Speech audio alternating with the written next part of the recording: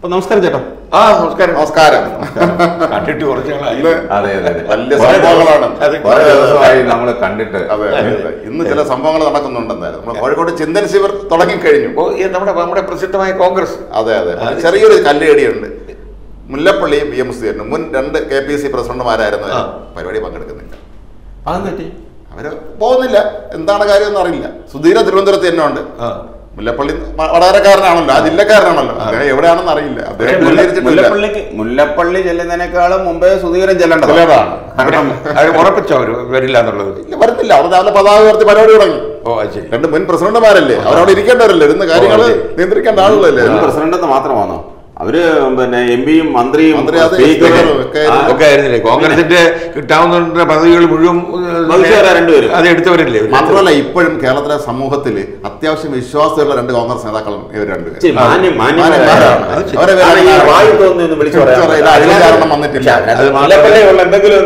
പക്ഷെ സുധീരനൊക്കെ വളരെ അന്തസ്സോടുകൂടി അത്രയും സംസാരിക്കുകയുള്ളൂ. ഒരിക്കലും ഒരു കട്ട് ചെയ്യുന്ന ആരെയും വേദനിപ്പിക്കുന്ന തരത്തിൽ വാക്കുപോലും വാക്ക് പോലും പറയില്ല. അത് വളരെ കറക്റ്റാണ് മാത്രമല്ല സ്വന്തം അഭിപ്രായമുള്ള ഈ രണ്ടുപേരും. വളരെ പ്രധാനപ്പെട്ട ഘടകമാണ്. ചിന്തന അപ്പോ- ശിവന്റെ പോകുമ്പോൾ അപ്പൊ അതിന്റെ അർത്ഥം സ്വന്തമായി പറഞ്ഞാൽ അപ്പൊ അതിന്റെ അർത്ഥം സ്വന്തമായ അഭിപ്രായം ഉള്ളവർക്ക് അവിടെ സ്ഥാനമില്ല. എന്തെങ്കിലുമൊക്കെ ചിന്തിക്കുന്നവർക്കും അവിടെ സ്ഥാനമില്ല. അപ്പം ഇതിന്റെ പേരെന്താണ് ചിന്തൻ ശിവൻ അപ്പൊ ചി- ശിവൻ. ചിന്തിക്കുന്ന ഒരു സ്ഥാനവുമില്ല അഭിപ്രായം പറയുന്ന സ്ഥാനമില്ല. പിന്നെ എന്ത് ശിബിരം? അറിയാമല്ലോ കോൺഗ്രസ് അല്ലേ. കോൺഗ്രസിന്റെ പരിപാടി എനിക്കൊരു സംശയം. അതിനകത്ത് നമ്മുടെ പിന്നെ ഈ അറക്കൽ പറമ്പിൽ കുര്യനല്ലേ. നമ്മുടെ അന്തോണിച്ചല്ലേ ഇല്ല, ഇല്ല, അനാരോഗ്യം. ചിന്തിക്കുന്ന. കാരണം രണ്ട് പ്രാവശ്യം കോവിഡ് വന്നു. പുളിക്കടപ്പ. വളരെ അത്യാവശ്യത്തിന് ഭക്ഷണം കഴിക്കാനും മറ്റു ചില കാര്യങ്ങൾക്ക് മാത്രം മാത്രമാണ് എണീക്കുന്നത് അല്ല ഭക്ഷണം കഴിക്കാനും മറ്റു കാര്യങ്ങൾക്കോ വാ തുറക്കുന്നതിനോ അതെ മാത്രമേ ഉള്ളൂ. അപ്പൊ അതിന് ഒട്ടും വയ്യ. രാജസ്ഥാനിലും പോയില്ലല്ലോ? വലിയ ശിവരിലും അദ്ദേഹം പോയി.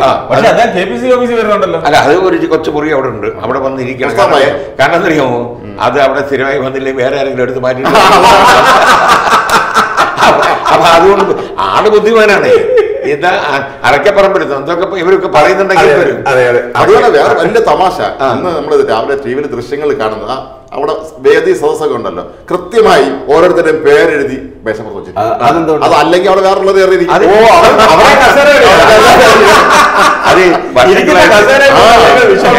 K P C C office പോകുന്ന എല്ലാവർക്കും അറിയാം വർഷങ്ങളായി ഒരു ബോർഡ് അവിടെ തൂക്കുന്നുണ്ട്. വർക്കിംഗ് കമ്മിറ്റി മെമ്പർ ഉണ്ട്. ഇപ്പൊ എന്താണ് ഇപ്പൊ എന്താണെന്ന് ഞാൻ അതിനുശേഷം കണ്ടില്ല. സീനിയർ ഒരു കൊച്ചു മുറി ഉണ്ട് അദ്ദേഹം. കൊച്ചു മുറി ഒരു കസേരയും ഒരു മേശയും ഇടാനുള്ള സ്ഥലം മാത്രമല്ല. അത്യാവശ്യം ഒന്നോ രണ്ടോ കസേര അത്യാവശ്യം വേണമെങ്കിൽ ഇടാം. അങ്ങനെ ഒരു കൊച്ചു മുറിയിൽ അദ്ദേഹം? അല്ല ആളുകൾക്ക് പറയും അല്ല വേണമെങ്കിൽ പറയുകയും ചെയ്യാം. അദ്ദേഹം വളരെ ലളിതമായ ജീവിതം നയിക്കുന്നുണ്ട്. ലളിതമായ ഒരു മുറി.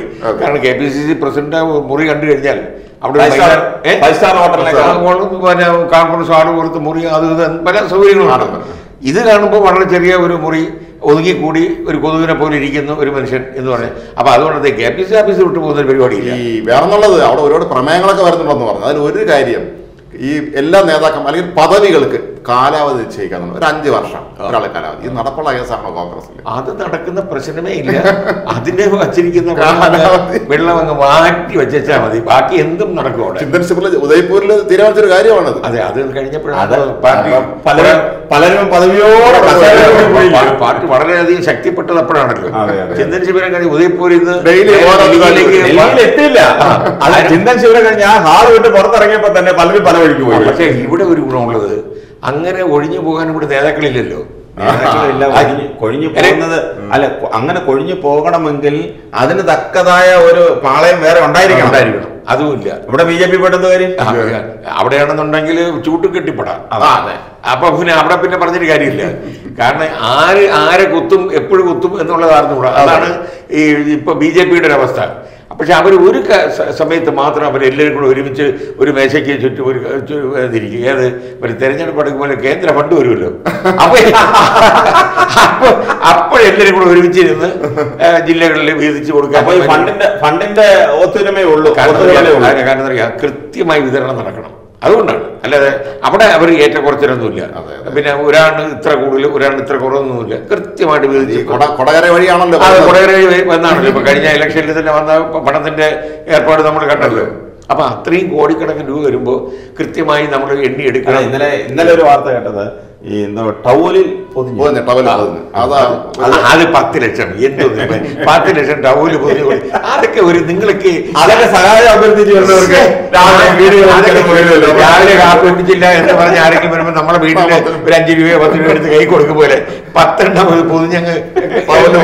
എടുത്തു കൊടുത്തു മറ്റവർക്ക് പത്ത് ലക്ഷം അവർക്ക് വലിയ കാര്യമാണ് അവർക്ക് നമ്മുടെ കിട്ടിയവർക്ക്. ആ കിട്ടിയവർക്ക് അപ്പൊ അത് അതെന്ത് അതൊന്നും സത്യം പറഞ്ഞ പറയരുത്. അവർക്ക് നാണക്കേടാ.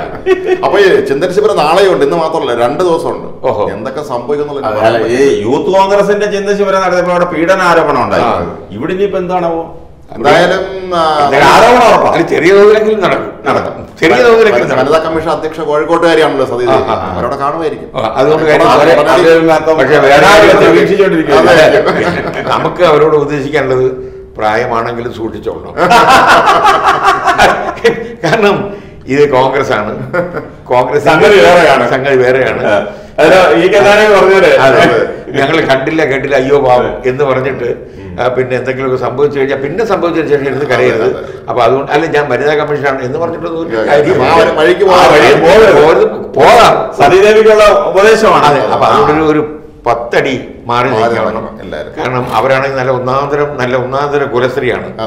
ഈ നമ്മുടെ സതീശ് വളരെ ഡീസന്റ് നല്ല നല്ല ഇതാണ് പി ജയരാജന്റെ സഹോദരിയാണ്. അവർക്ക് പാർലമെന്റ് അംഗങ്ങളാണ് ഒരുപാട് പാരമ്പര്യമുള്ള സ്ത്രീയാണ്. അപ്പൊ അതുകൊണ്ട് നമ്മുടെ സൗകര്യം പോലുള്ള ഒരു സ്ത്രീയാണ് അവർക്കൊന്നും പറ്റരുത്. അവർ ആ ഭാഗത്തോട്ട് പോകരുത് എന്നുള്ളതാണ്. സത്യം പറയാം അവർ കണ്ണൂരിലെ കുടുംബ വീട്ടിൽ പോയിരിക്കുന്നതാണ് നല്ലത്. ഈ ശിബിരം കഴിയുന്നത് വരെ. അതുകൊണ്ടാണ് നമ്മൾ അത് പറയുന്നത്. അപ്പൊ ശിബിരം കഴിഞ്ഞിട്ട് എന്തെങ്കിലും പ്രഖ്യാപനത്തിന് സാധ്യത കാണുന്നുണ്ടോ? അടി ഉറച്ച് നിൽക്കണം. ഞങ്ങൾ അടിത്തട്ട് മുതൽ ഞങ്ങൾ കളിമണ്ണ് വെച്ച് പിന്നെ പേസ്റ്റ് ചെയ്ത് ഇങ്ങനെ അടി അണിയായിട്ട് ഇങ്ങനെ ഉണ്ടാക്കി കെട്ടിപ്പൊക്കി കൊണ്ടുവരും രാഹുൽജി പക്ഷേ വരുന്നില്ലെന്ന് തോന്നുന്നു വയനാട് എം പി ആണെങ്കിൽ പോലും അതെ സോണിയാഗാന്ധി വരുന്നില്ല ഇല്ല. പ്രസിഡന്റ് അല്ലേ സോണിയാഗാന്ധി ആ, സോണി സാധാരണ സോണിയാഗാന്ധി വരണ്ടേ ചൊവ്വാഴ്ച വീണ്ടും ആ വരാന്തിയിൽ നിന്ന് ഇറങ്ങാൻ അവർക്ക് സമയമില്ല അതെ, അതെ, അതെ. പക്ഷേ പിന്നെ പായും തിരിച്ച് അവിടെ കിടക്കേണ്ട സ്ഥിതിയാണ് രാഹുൽ യൂറോപ്പിൽ നിന്ന് വന്നു ചിലപ്പോൾ വേറെ ഏതെങ്കിലും രാജ്യങ്ങളിലേക്ക് ചിലപ്പോ കറങ്ങി ചിലപ്പോ ഇന്ന് ശനി ഞായർ പാർലമെന്റ് ഇല്ല. ഓ അപ്പൊ അതുകൊണ്ട് തീർച്ചയായിട്ടും കറങ്ങി തിരിഞ്ഞ് ചിലപ്പം പിന്നെ ഗോവ വഴിയോ അല്ലെങ്കിൽ പിന്നെ ഇവിടെ പോയില്ലേ? എവിടെ? അതുവഴിയൊക്കെ കറങ്ങി ഞാൻ അതൊക്കെ പുതിയ ചവച്ച അല്ല ചിലപ്പോ വേറെ സാധ്യത കളയാൻ പറ്റില്ല. സസ്പെൻസ് ആയിട്ട് ഒരു രാഹുൽജി പ്രത്യക്ഷപ്പെടും. അവിടെ തട്ടിട അവിടെ കൊയാക്കട കടയിൽ ചെന്ന് തട്ടട ചായ ഒരു വടയും കഴിച്ചിട്ട് നേരെ അതിനൊരു പത്ത് വിളി കൂടുതൽ വിടുകയും ചെയ്യും. നല്ലൊരു ഐഡിയ ആണ്. വാഴയും.